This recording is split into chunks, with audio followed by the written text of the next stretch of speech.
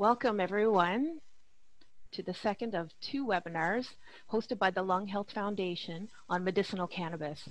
My name is Jennifer McKinnon and I am the Senior Manager of Professional Education and Clinical Practice at the Lung Health Foundation. In February 2020, the Ontario Lung Association became the Lung Health Foundation. At the Lung Health Foundation, we are dedicated to ending gaps in the prevention, diagnosis, and care of lung disease in Canada. We invest in the future by driving groundbreaking research and giving our patients and their families the programs and support they need. Today's talk is titled Medicinal Cannabis in Treating Chronic Pain. Before I introduce our speaker, please note that everyone has been muted for the duration of the presentation. Please use the question and answer feature at the bottom of your screen to submit any questions. The presentation will be approximately 40 minutes with 5 to 10 minutes for questions at the end. It is now my pleasure to introduce our speaker. Dr. Martin Chasen is the Medical Director of Palliative Care at William Osler Health System. He was previously Medical Director, of Palliative Care at the Ottawa Hospital Cancer Center and the Palliative Rehabilitation Program at the Elizabeth Bruyère Hospital in Ottawa.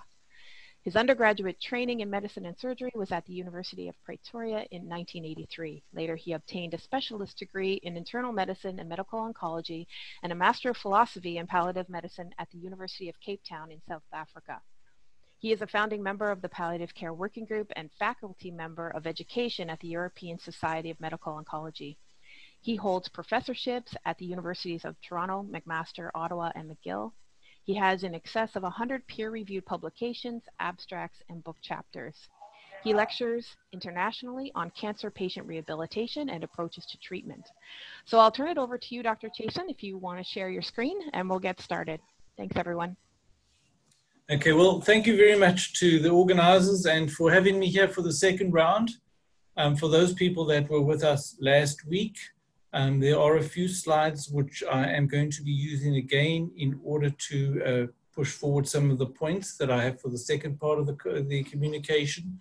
So, um, and I would really appreciate some, some questions at the end of all of this so that we can generate some discussion in where this is going forward.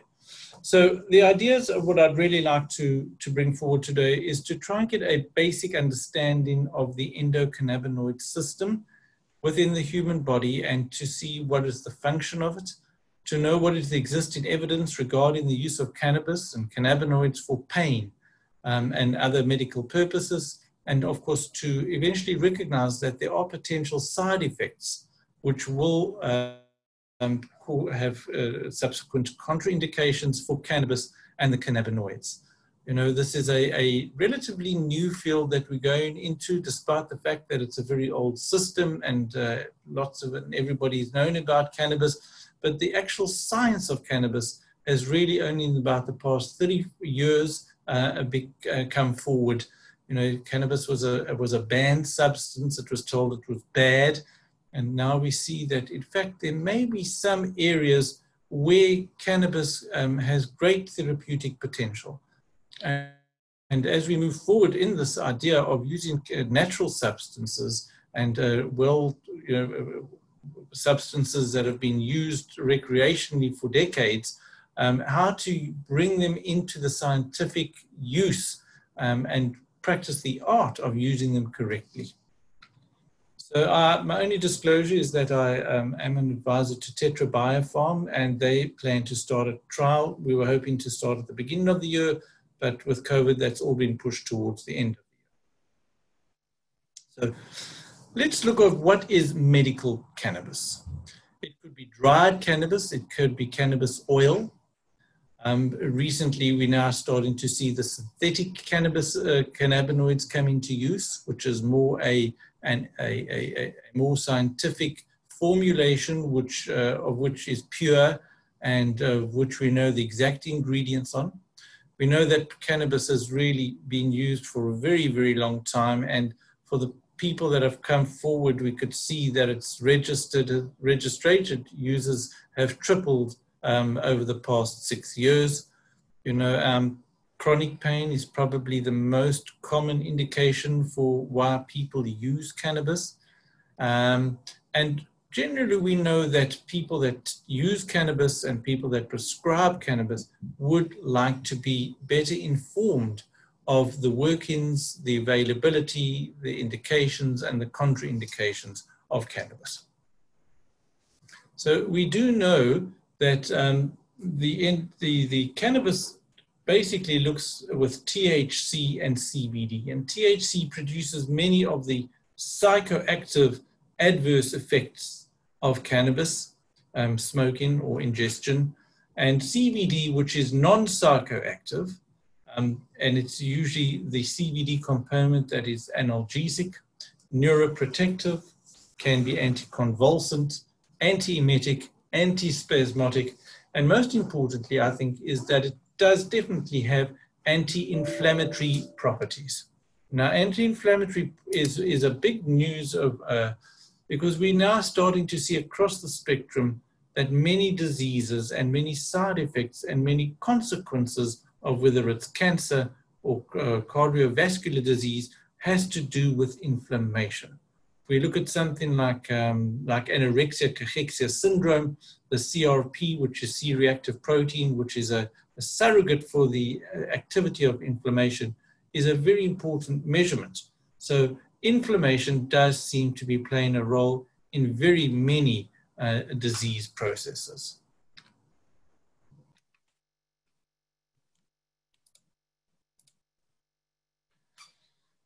The endocannabinoid system, as we explained, is a very old system. And you, the human type cannabinoid receptors actually were seen in invertebrate stage fish, pre-fish evolution.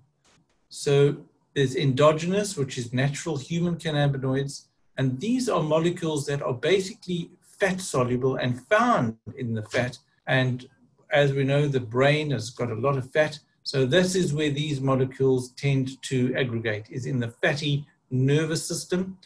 And if we think about an endogenous opioid system, the morphines, the, the, the, the opioid receptors, and how we could use these opioid receptors to treat pain because they are naturally occurring, so too with the cannabis and the endocannabinoid receptors, we can use them by modulating the amount, by modulating the affinity and the attachment and the activation. We can use cannabis and such like substances in order to modulate those systems. So I'm going to just show you that uh, CBD1 receptors are prim found primarily in the nervous system and CBD2 in the immune system. They have different functions. Actually, we spoke about that earlier, but they do have um, overlap to a wide variety and range of cannabinoids that are used therapeutically. Different species may have a different distribution and a different receptor sensitivity. Comparing, for instance, example, a motion regulated part of a, of a rat brain is more sensitive than a human's to cannabinoids. So rats tend to walk along uh, a straight line more crookedly than what humans do if they are stimulated to the same degree by, by cannabinoids.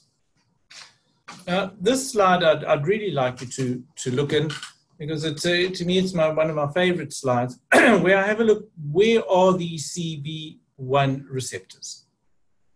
Cerebral cortex, having a look that it these receptors are involved in decision making, in emotional behavior. Once again, looking at the caudate nucleus, and I'm looking to, to show you that learning and memory is very important and does have a very important effect, um, which is stimulated and controlled and modulated by the cannabinoids. So we've got memory and learning. We have a look at the putamen. Once again, it's got various types of learning the uh, uh, looking at the amygdaloid nuclei, which is responsible for anxiety and stress, emotion, fear, and pain. And this, if you have a look at anybody with a terminal disease, such as cancer, that's where we've got large amount of anxiety, stress, emotion, fear, and pain. So pain and emotion and stress really go hand in hand um, of one part of a circle holding hands with the next part of the circle. The more pain, the more emotion, the more anxiety. The more anxiety, the more pain. So they bring them together, and if we could find a panacea of substances like the cannabinoids in order to treat these anxieties and pain, the amygdaloid is where it would be. Looking at the hippocampus, once again, memory and learning. Um, substantia nigra, which is a, in, in you know, we, we've got reward.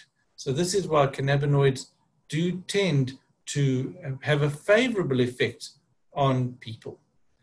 All of these neuroreceptors inside the brain do play a role.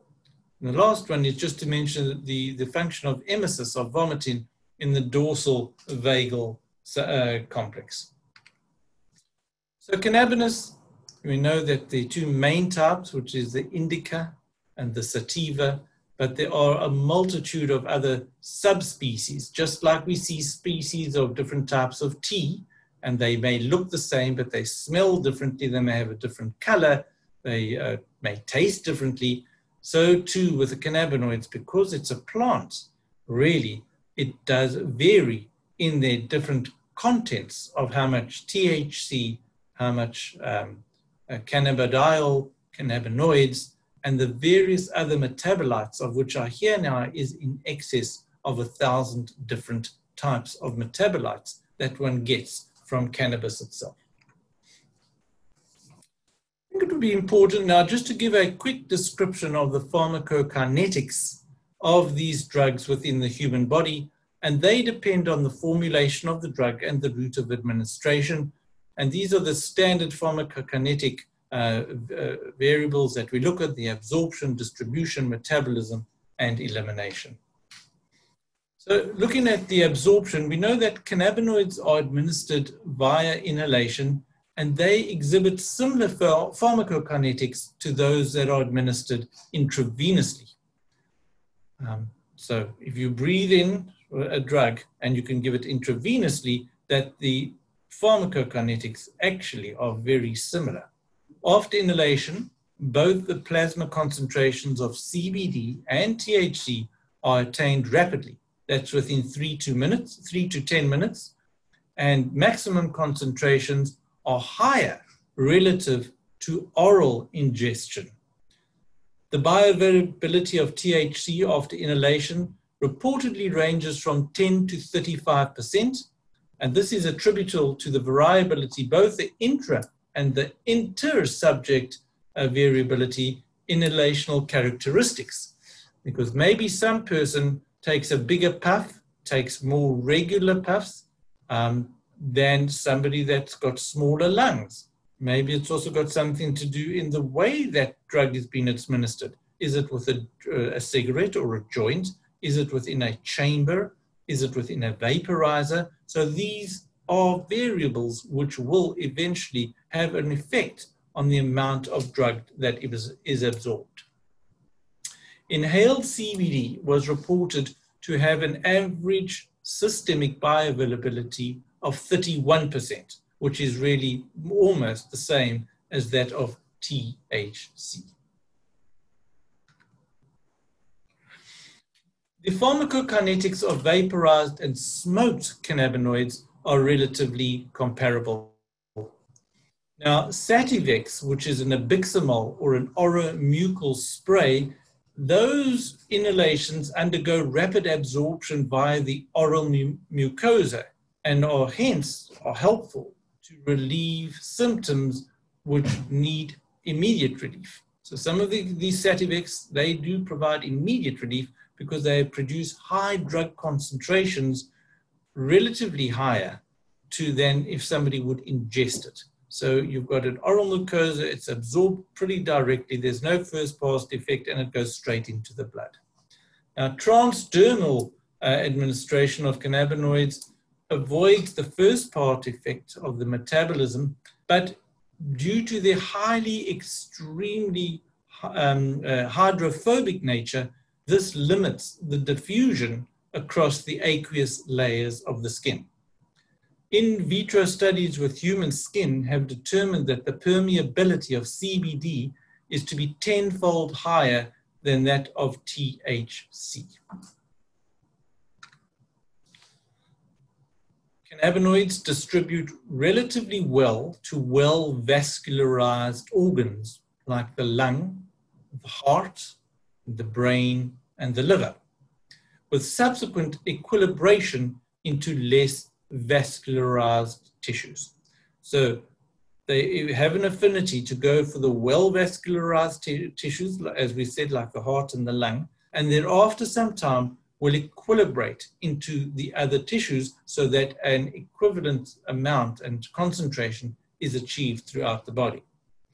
But of course, the distribution may be affected by the body size and composition, as well as different disease states, as well as some of the other drugs, which can affect the permeability of the blood-brain barrier.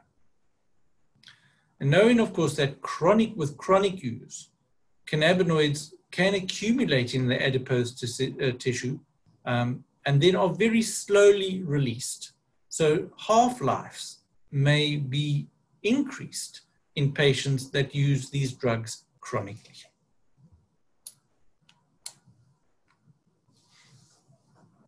The metabolism of THC is predominantly via the liver, via a cytochrome P450 or CYP450, although there are some other cytochromes that are involved, which you can see the CYP2C9 or the CYP2C19, predominantly excreted in the feces and the urine.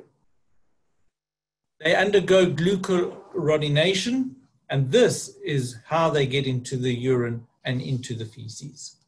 Important to note is that lipophilic THC is able actually to cross over into the placenta and is then excreted in human breast milk. CBD is really metabolized primarily by the liver, which we see once again, but a different CYP2C19, which is also THC, but it's third most important, and mainly fecal excretion, although there is some urinary excretion. and interestingly enough, at this stage, very little is known about the pharmacological activity of the metabolites of CBD, which seems to be the less uh, noxious uh, of, the, of, of the THC compounds um, in humans.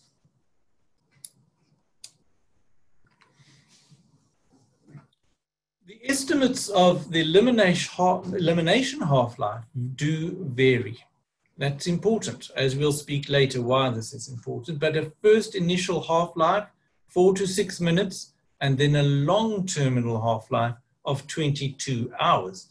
So in a person that does not use the drug chronically, there's a half-life that can last almost a day. In relatively longer elimination half-life is observed in those people that are chronic heavy users, because as I explained, they retain the drug within the uh, adipose tissue, within the fatty tissue, which then is released very slowly into the bloodstream and eventually term, uh, eliminated. CBD does have slightly longer terminal half-life. We can see that the average half-life following an intravenous dose is about 24 plus minus six hours.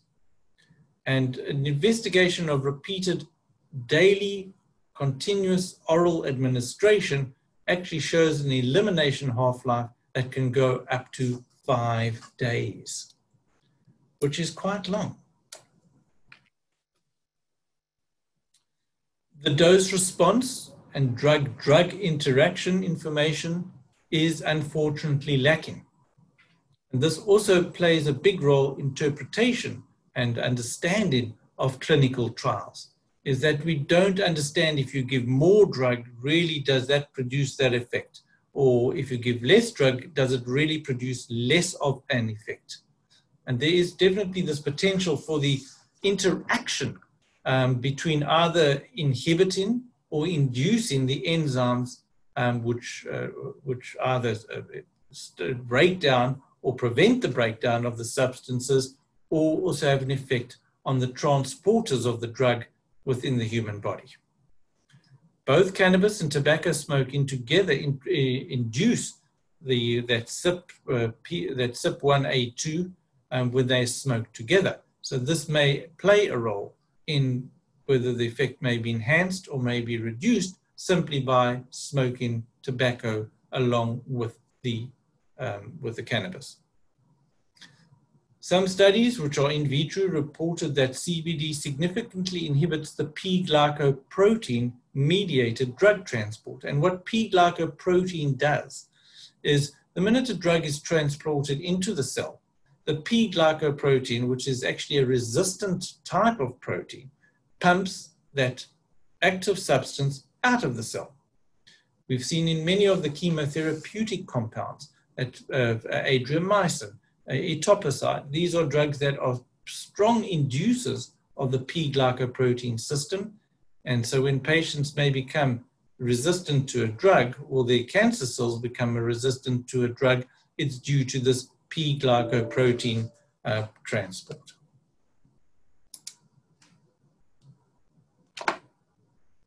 But, um, let's move on. So let's have a look at some of the effects of the, the drug. On the CNS, drowsiness, alertness, impairment of short-term memory. And you saw where that was important when I showed it to you in the brain. Slowed reactions, decreased motor coordination and muscle tone. Accuracy of psychomotor task performance. So one's perception is definitely uh, impaired by the combined effects of these drugs um, working at various structures within the central nervous system. At lower doses, one can get the mild euphoria, the relaxation, the decreased anxiety, which we once again saw where that worked out in the amygdaloid nuclei. Higher doses can increase anxiety and panic reactions. And there have been people, and this is something specifically in the elderly population, where paranoia can, um, can take place. Is it because the people have less fat, or maybe the receptors are more sensitive? And once again, the dose response relationship is not quite clear um, in any standard group of people. But we do know that at which dose, we're not sure, but higher doses do tend to cause what we would call in layman's term a bad trip. Of course, the other effects are the pain perception. And I once again say perception because when speaking to these patients, they would say we still feel the pain, but it just isn't as important or doesn't affect me as emotionally or it doesn't have an effect on my functional status as it did when I did not take the drug, but we still feel the pain. Of course, anti-nauseant and antiemetic effects by the CB1 receptors uh, meant to increase appetite, which it does in healthy volunteers.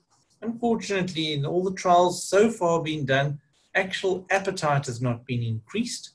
But in a trial that we did, uh, to, you know, 2012-13, what we found was taste perception was altered, and uh, and uh, also dysgeusia, which is um, abnormal tastes, distorted tastes, is, is decreased. So patients found that they tasted food better, they wanted more of it, but it didn't really have an effect on the appetite. And the so called munchies, which we were all hoping patients with advanced cancer and anorexia cachexia would have, um, has not unfortunately materialized.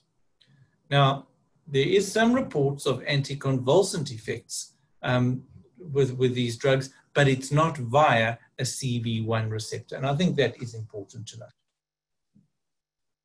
On the neuromuscular system, we've got antispasmodic effects, and this has been well utilized in some of the drugs with spasticity and even recommended for pain and spasticity of patients that have multiple sclerosis. Cardiovascular effects, patients uh, get their hearts beat faster, they have a better cardiac output, but it also induces a myocardial oxygen need. So if a patient has narrowed arteries in their heart and they suddenly need more oxygen because their heart is beating faster, then they may experience angina. Respiratory, it does increase bronchodilation. And there were very many old people, um, and I still remember this in South Africa, who would actually take marijuana in order to treat their asthma. And uh, but they would not take it with cigarettes. It would just be pure marijuana, and that would increase the uh, decrease the airways resistance, allow them to breathe the air out much easier, and cope with the effects of asthma. Bronchial irritation, and of course, cannabis smoke is similar to tobacco smoke as far as irritation goes, um, but the evidence for any obvious causing of lung cancer is lacking. Eyes, patients get you know dilatation probably from the heart, um, the heart that's beating faster, the blood pressure that goes up, and yet again we come back to this old albatross, which always seems to come back at us, is what is the effect on immune function and how does it stop the immune uh, response or the the overt immune response because as we know very often the immune response that we're seeing in patients with cancer has been ineffective in fact with the new uh, inhibitors the checkpoint inhibitors they're turning off some of that immune function and patients are actually doing better so the old story of, well, you need a fever to fight an infection may not actually be true. So cannabinoids do have an effect on the immune function, although it's unclear exactly. So those were the acute effects, and let's look at some of the chronic effects, cognitive changes, verbal fluency, learning deficits. These are people that are taking high doses and can get a chronic intoxication syndrome of apathy. You know, we don't feel like going to school. We don't feel like doing homework. We don't feel like playing sport. We don't feel like socializing. We just feel like sitting in our room. This has been a, one of the big problems that they found with younger users who have been using it chronically is this chronic apathetic syndrome. Now, whether that's just as the newer generation is, or whether this is in fact what was seen in many older generations when they were younger, it is an entity. And there is a cannabis dependent um, categorization on the DSM 4, and we'll go through those a little later.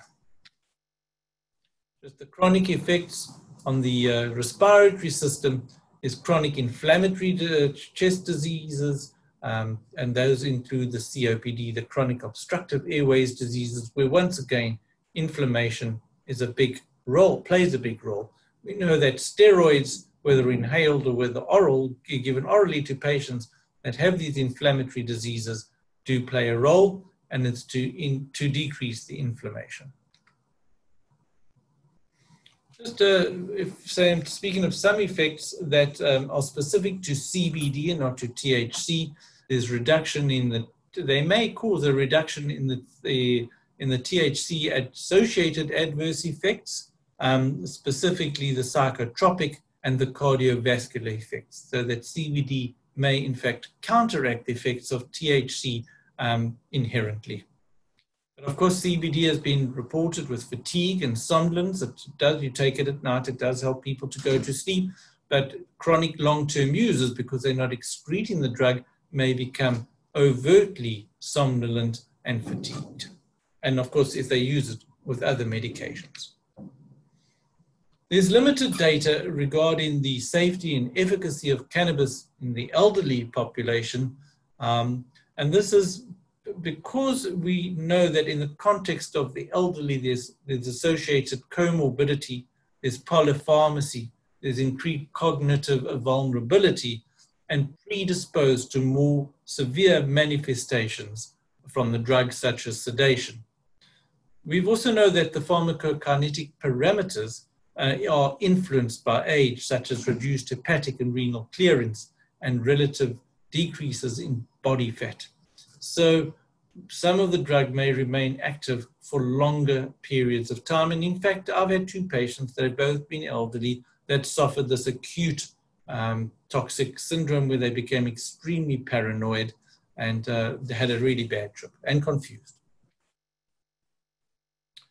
Medical cannabis can be administered through different uh, techniques and uh, methods such as smoking, vaporization, and ingestion.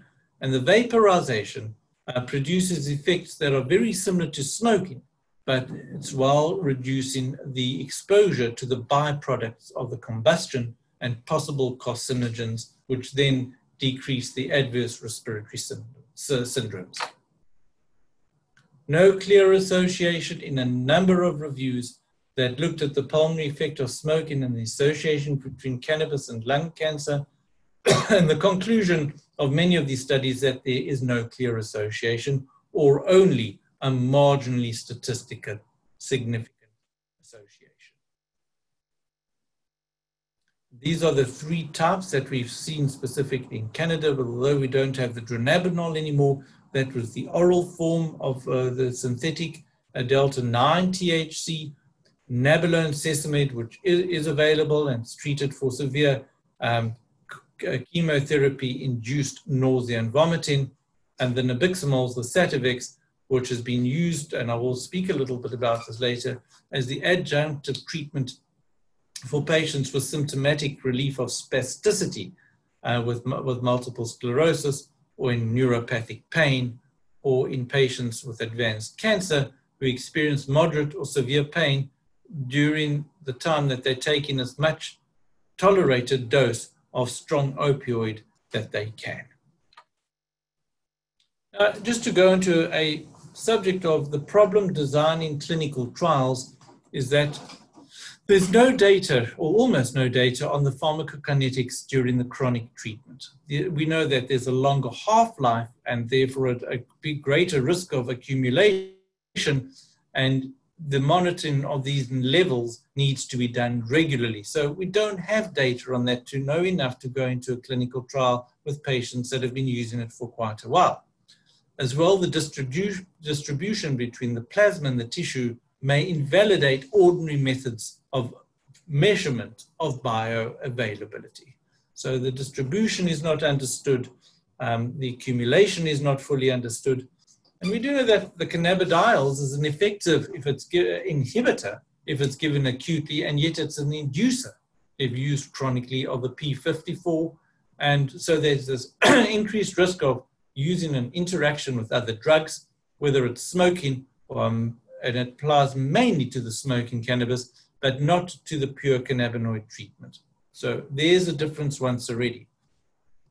Many people have claimed indications for therapeutic use, which is a lifelong use, not just a, an acute use and then over, but more lifelong. So we have to consider, of course, that using these drugs may cause pulmonary damage. It may cause tolerance, and you have to increase the dose. And of course, there is, although it's small, there is a risk of dependence. The safety margin, you can get somebody using the same amount of drug, and yet the one person freaks out and the other person tolerates the drug just quite calmly.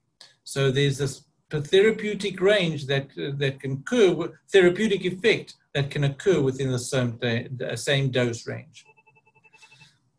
Subjective effects um, are noticeable within seconds or minutes when smoking cannabis, whereas an cumulative effect is noted in chronic treatment. So these are some of the difficulties in designing clinical trials. Another thought is what would actually be measured? We need objective rather than just subjective need to qualify. You know, when you look at nausea, are you nauseous? Yes or no? How bad is the nausea is more difficult to determine. Even pain. On a scale of zero to 10, where 10 is the worst pain and zero is no pain, where is your pain? How much is your pain? May be different from person A to person B.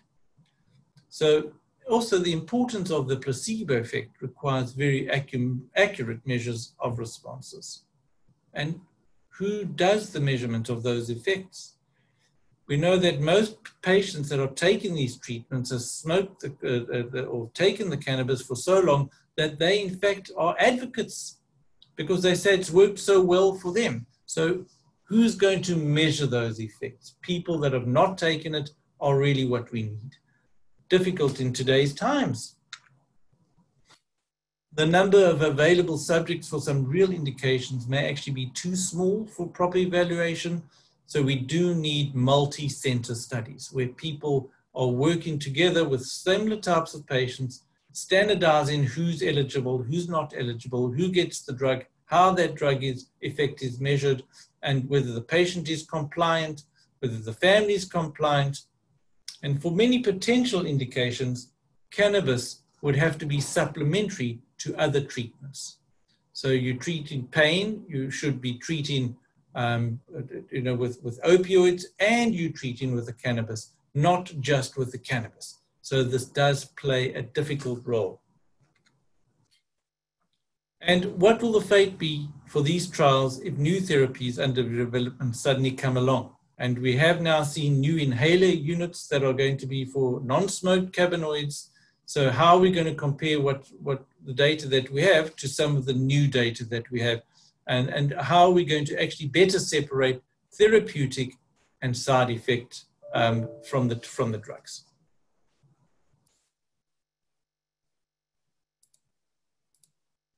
So let me just give you a background of some of the work that I'm going to go, and that's really about chronic neuropathic pain, which we know affects about 1% to 2% of the population.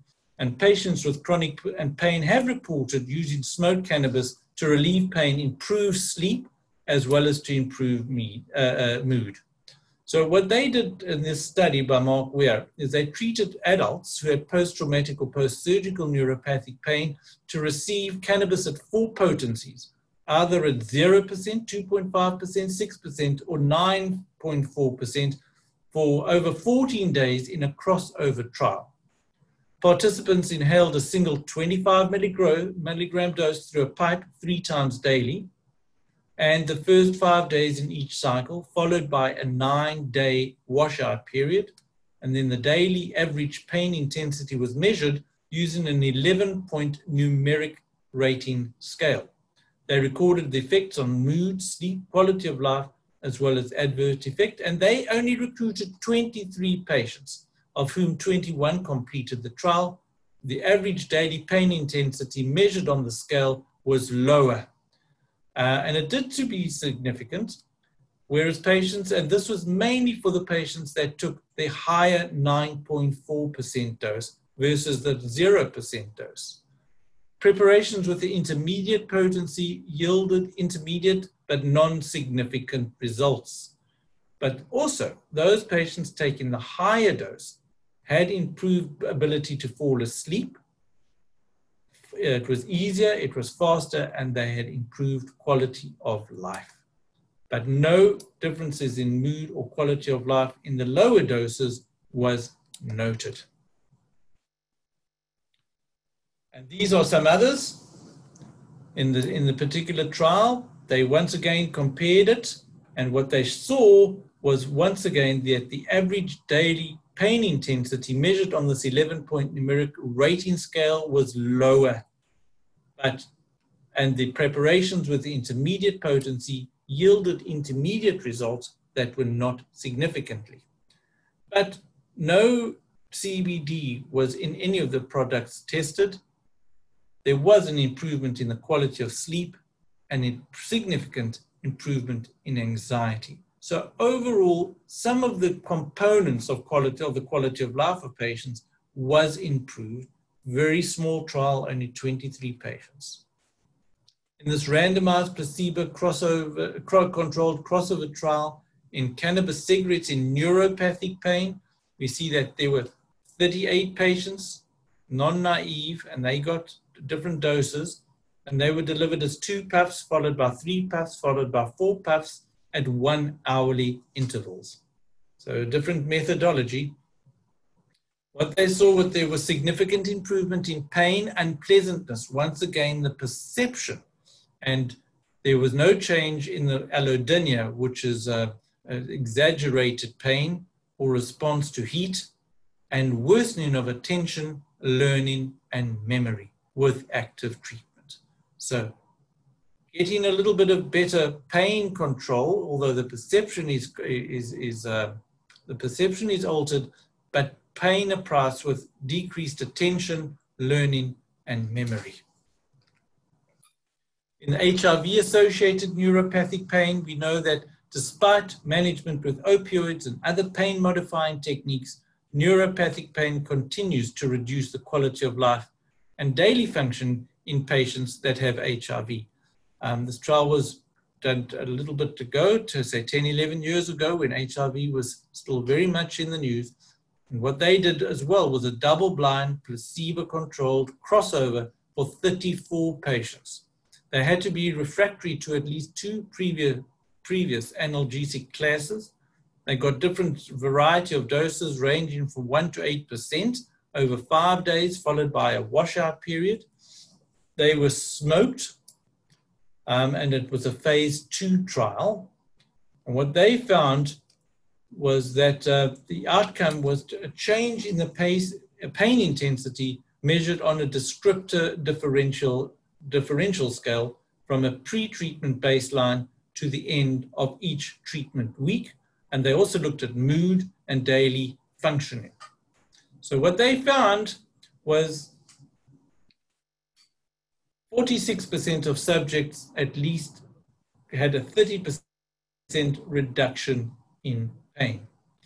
But they, the clinical trial um, that they conducted was only a phase two, uh, phase two trial. So it was not really something that they could take forward. And as well is that most side effects that they experienced were mild and limited, but there were two subjects who really had bad side effects and they had to stop the drug. Just looking at chronic pain, and this is in a, it was published in 2006, looking at the different um, uh, efficacies of the different drugs, look at opioids. 58% said they got treatment relief. Now it's 21% relief um, up to 6.3.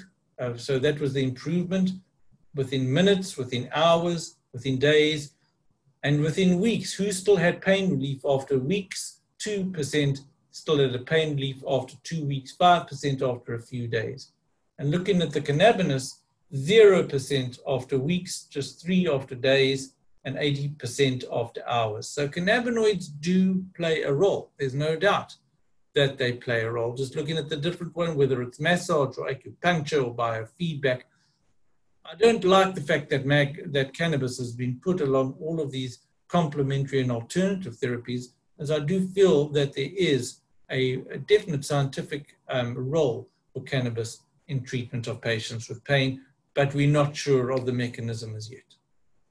So looking at the evidence as we see it, um, there are not many studies because of Health Canada restrictions. A lot of legal non-inhaled product is available and will be available, it's now available.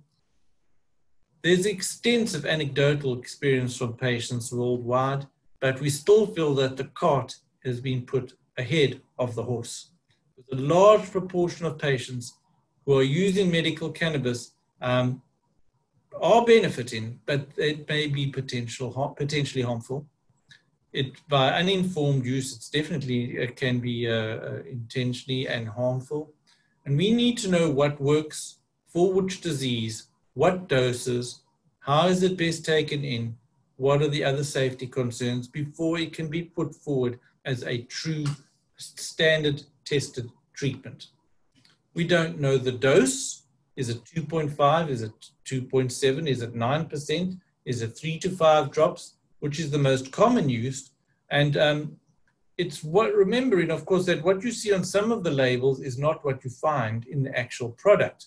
And I remember, I think it was last year that they, the Health Canada did a on all the marijuana stores and found that many of these these bottles had the wrong labels and there was an infestation of, of parasites. So we have to know what we're looking at, and we have to be sure that it's a standard treatment for a standard disease. Can one drive?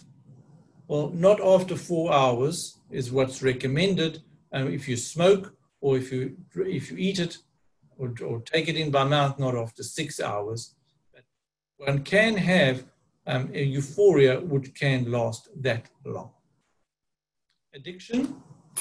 Cannabis is about 9% compared with cigarettes, which is 32% addiction, addiction rate, alcohol of 15, heroin 23, and cocaine 17.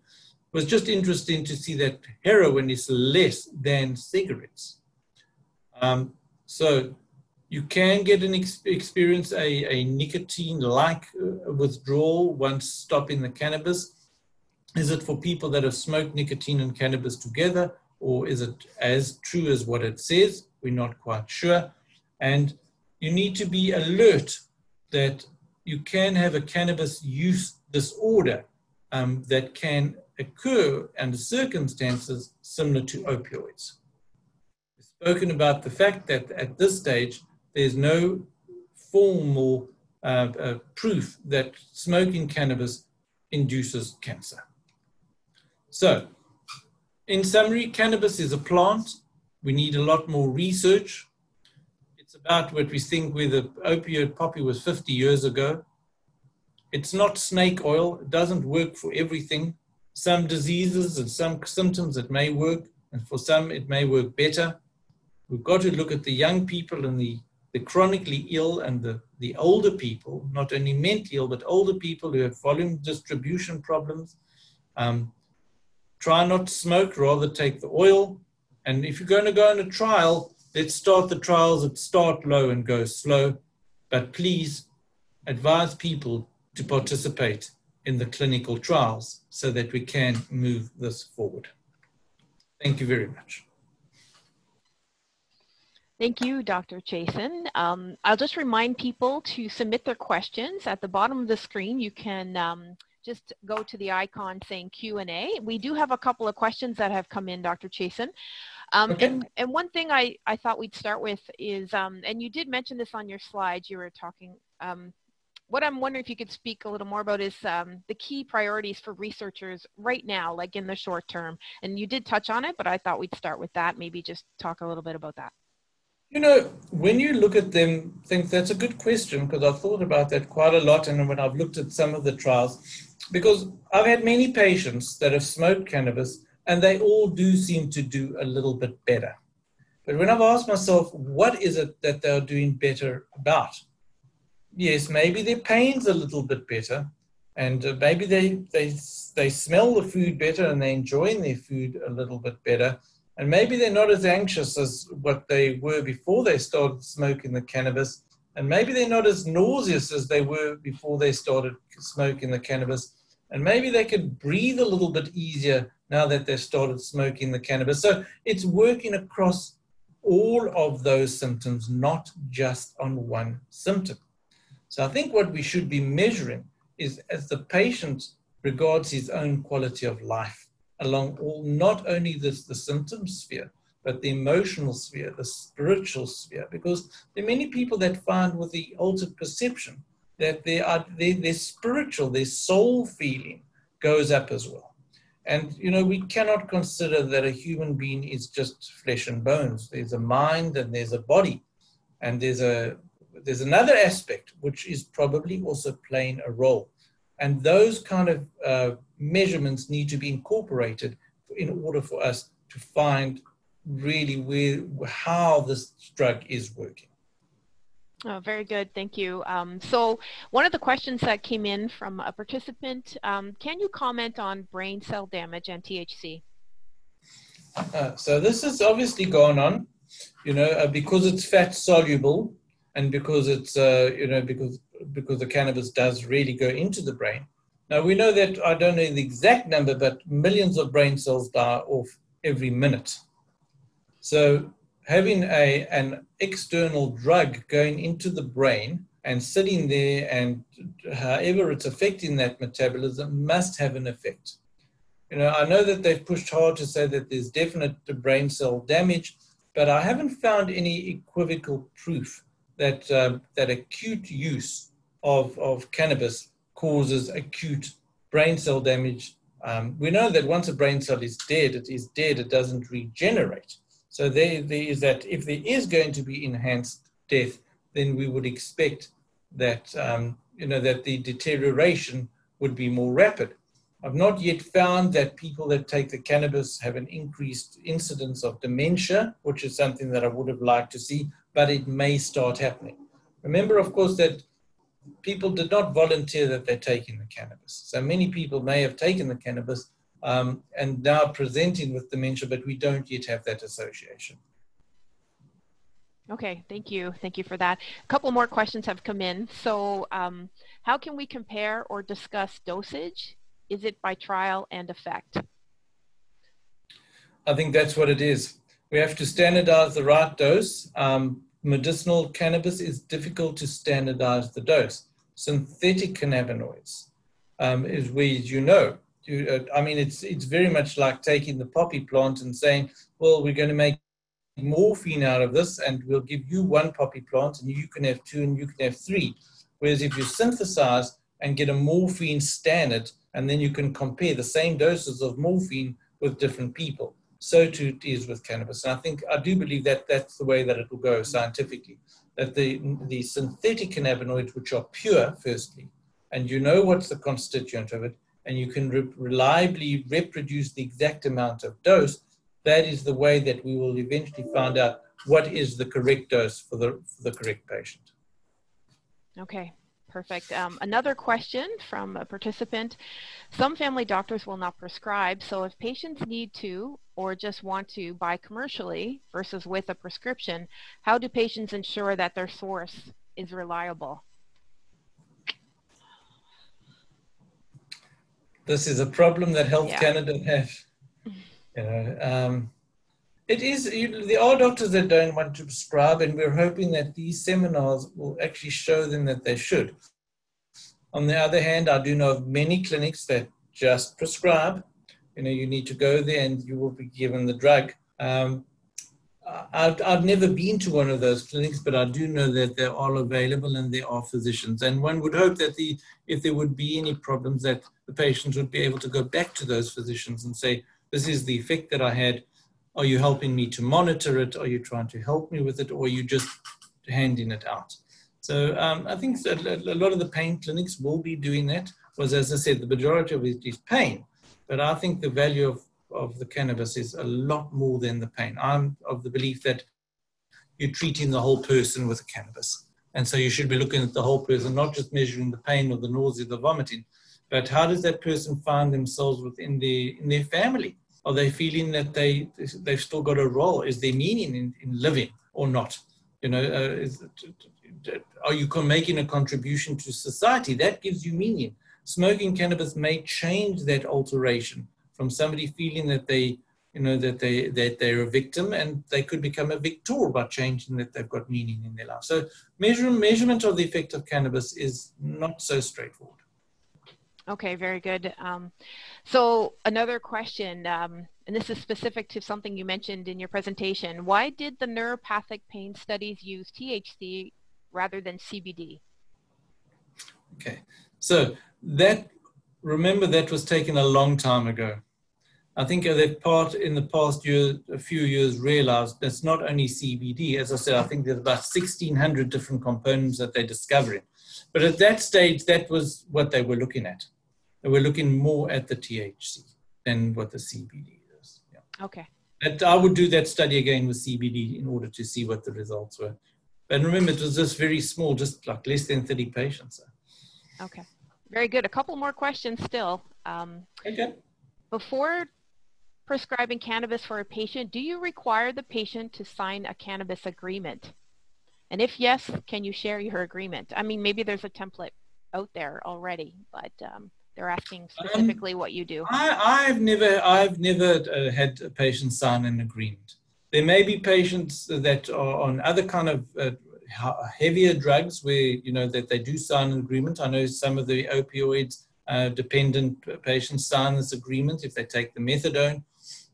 You know, it, the dependency is really so it's really negligible compared to you know even just a cigarette or alcohol. So I've I've never had a patient that's become physiologically dependent, perhaps psychologically dependent, uh, one, which I think is probably more of a problem than actual physical dependency. So no, I've, I've never had a patient sign an agreement. Okay.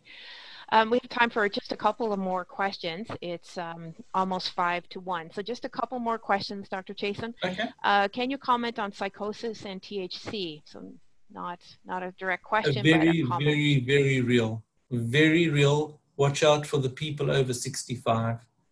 the, the, the, the, the people with a, you know, with, with very little body fat, they may be chronically ill, have never been exposed to drugs or, you know, any type of alterations, or have a history of dependency or a history of psychiatric illnesses or a history of having, or even the patients having mild delirium. Those are the patients I would not give this drug to. Um, I have seen little old ladies almost jump off buildings. I've had two patients that are, you know, I won't, I won't do it again. I saw twice and I won't do it again. So that it's very, very real. And when prescribing it, watch out for the elderly, frail person. Okay. Um, someone asked about complaints around intestinal colic. Um, is, is that a common side effect or they didn't really specify in the question what they're asking like just how I, common? I haven't seen that written and i haven't had any patients telling okay. me they've, they've had that i wonder okay. why it would affect that okay but thanks no, for, i don't know about that. thanks for addressing that. Um, you mentioned variables but is there a recommended maximum daily dose? That's probably hard we to say. know. we don't know those we things yet. know. we don't know I would be very scared to go above the 9.4% though. Okay. Okay, I'll, I'll leave it uh, to this being the last question. Is there a true CBD only option? And if so, does it also produce? Uh, you know what? I saw, I saw an advert actually come through one of my emails the other day that there is a true CBD option that's now available in, in, in Canada. I don't know it. It's, it's hemp. Hemp is what CBD is, um, and it's a pure hemp. Um, is it going to work? I would hope it's going to work. You don't need a you don't need a prescription for it. That's what that's what this advert said to me. Um, but I think that I think that the, there is an amount of therapeutic validity for the THC as well. So whether it's just CBD, but once again the the psychosis that it, you have to be careful. You've got to be careful. Okay. The history or there's any slight dementia or any previous reaction to some of the psychoactive drugs, no ways. Don't do it. Okay, very good. Um, so we are approaching the um, the end time, so we're close to one o'clock. I just want to say to participants, thank you for joining and asking questions today. Um, it's great to have you, and thank you, Dr. Chasen, for your presentation and taking thank time to be much. with us. We are sending a survey out to participants after this. So those of you who are um, who have registered and participated, you'll get a short survey. If you could just give us your feedback and if and let us know if there are any other topics along this area that you might be interested in. Um, so you'll see that shortly in your email. So thank you everybody and uh, we'll um, end it there. Thanks very much. Thank you very Take much care. to everybody. I enjoyed being with you. Although I didn't see you, but I enjoyed it. Okay, thanks a lot. Bye. Bye now.